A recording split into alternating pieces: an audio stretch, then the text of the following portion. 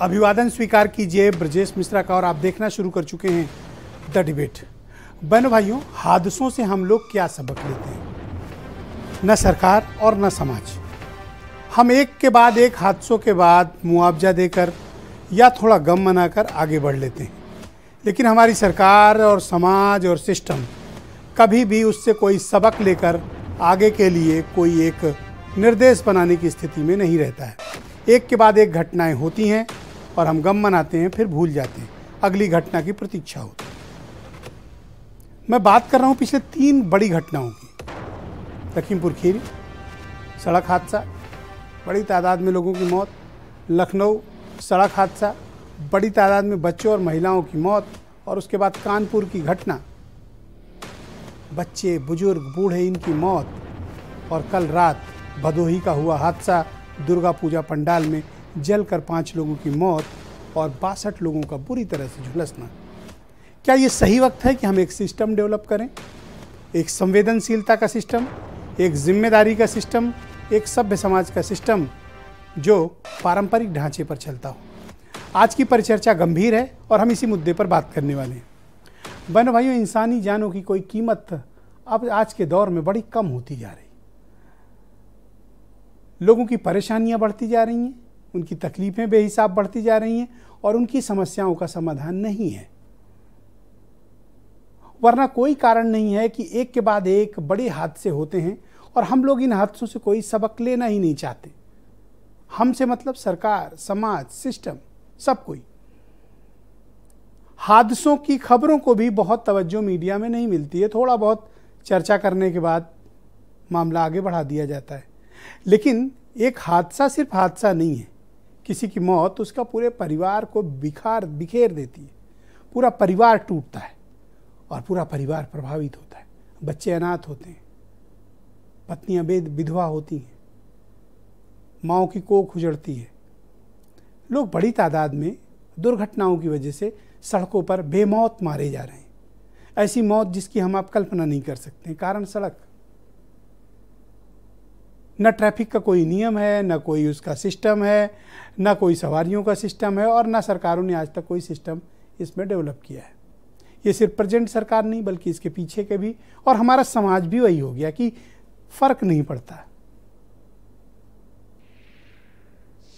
कानपुर में 26 लोग मारे गए, मुआवजा देकर इतिश्री। तो यहाँ सिर्फ़ सरकार ही नहीं सिस्टम और समाज की भी रिस्पॉन्सिबिलिटी कोई समझना नहीं चाहता। दुर्घटनाओं को बड़े ही कैजुअल तरीके से लेने की हमारा एक स्वभाव हो गया है। हमारा मतलब भारतीय समाज का। न हम संवेदनशीलता है, न ज़िम्मेदारी का हम पर मसले हैं और न हम उस गंभीरता के साथ कोई एक सिस्टम डेवलप करना चाहते हैं।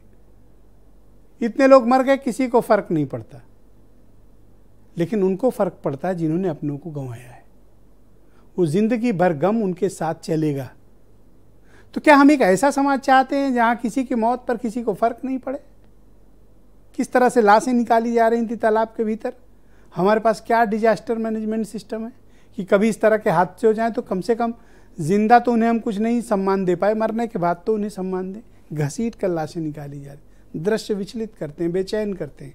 चाहे लखीमपुर खीरी हो, चाहे लखनऊ हो, या फिर कानपुर, या फिर आप देख लें भदोही। सोचिए, दुर्गा पूजा पंडाल, जलकर पाँच लोग की मौत, बासठ घायल, झुलसे हुए, बुरी तरह से। उनका जीवन अपंग हो गया है। कितनी परेशानियाँ झेलेंगे जीवन भर। और कानपुर का हादसा, बच्चे मारे गए छोटे छोटे बच्चे। जिनका जीवन था अभी, जिनको उत्तर प्रदेश की तरक्की में एक नया आयाम लिखना था, इस समाज के लिए कुछ कंट्रीब्यूट करना था, असमय मारे गए। फ़र्क नहीं पड़ता। न सिस्टम को, न समाज को और न सरकार को। तो क्या हम एक ऐसे संवेदनहीन समाज का हिस्सा हैं जहाँ पर किसी के दुख को दुख नहीं समझा जाता? जहाँ मुआवजा ही सब कुछ है और तत्कालिक तौर पर दिशा निर्देश जारी करके बात खत्म? हम एक कंक्रीट सिस्टम कब डेवलप करेंगे? आखिर कितनी मौतों के बाद हम सिस्टम, समाज और सरकार एक स्ट्रीम लाइन करेगा चीज़ों को?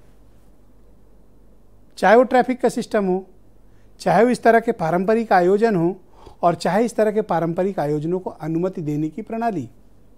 लेवाना कांड अभी कोई भूला नहीं। तब तक आप देखिए ये घटना हो गई। भदोही की जल के लोग मर गए। तो मैटर क्या करता है? यहाँ पर सिस्टम और सरकार की भूमिका क्या होनी चाहिए? आप देखें, अस्पताल जाइए, बेकदरी। रोडवेज़ की बसों पे सफ़र करिए, बेकदरी। इंसान की इतनी बेकदरी, ज़िंदा में भी और मरने के बाद भी। ये चीज़ बड़ा दुख देती है, बहुत तकलीफ़ देती है। और हमें लगता है कि हमें एक जिम्मेदार समाज के रूप में अपनी भूमिकाओं का निर्वहन करना चाहिए। ट्रैफ़िक रूल्स का पालन करना चाहिए। एक दूसरे की सुरक्षा का ध्यान रखना चाहिए। सरकारों को भी संवेदनशीलता दिखानी चाहिए। नियमों का पालन कराना चाहिए। और हमें एक सिस्टम डेवलप करके समाज को तरक्की के रास्ते पर आगे बढ़ाने की ज़रूरत है, ना कि लोगों के पीछे गम का पहाड़ छोड़ने की। क्योंकि जिनके अपने मरते हैं, वो ज़िंदगी भर उसे भूल नहीं पाते हम आप तो खबर दिखाकर या सरकार मुआवजा देकर या पुलिस वाले सारा कुछ केस को ख़त्म करके अपनी अपनी तीसरी कर लेंगे, लेकिन गम उनके साथ चलता है, पूरी ज़िंदगी।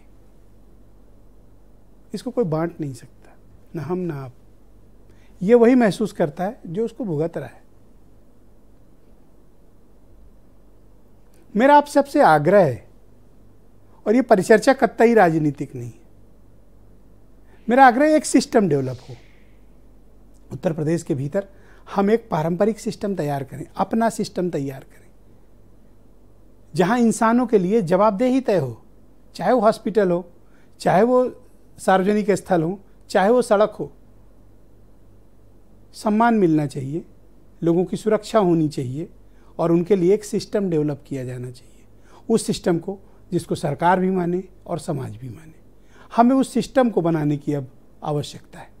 कुछ आप बयान सुने, उसके बाद आज की परिचर्चा बहुत महत्वपूर्ण है और हम इस चर्चा के ज़रिए हम सोल्यूशन निकालने की कोशिश करेंगे।